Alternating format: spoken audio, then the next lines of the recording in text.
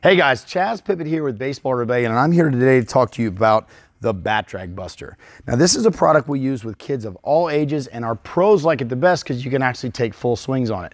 I'm here with Eric, and I'm going to go ahead and strap him up here.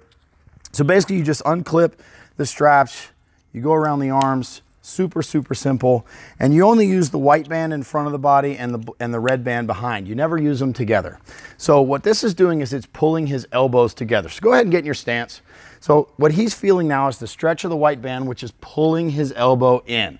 People naturally resist force. So what we want to do is we want to avoid that pull in. And so as he loads back and takes his stride and he comes to contact here, he's going to maintain that stretch right there. And that's exactly what we're looking for. To keep the elbow spacing as best we possibly can. One of the things that a lot of kids really do poorly is they drag the bat. So Eric, go ahead and get in your stance. And when the, when the bat drags, the main culprit is this back elbow collapses, and gets in front of the hands, and then you create this giant hole in the swing right here. So the pivot now is around the elbow and he's stuck and he's got this hole and it just takes a lot longer for the barrel to get where it wants to go.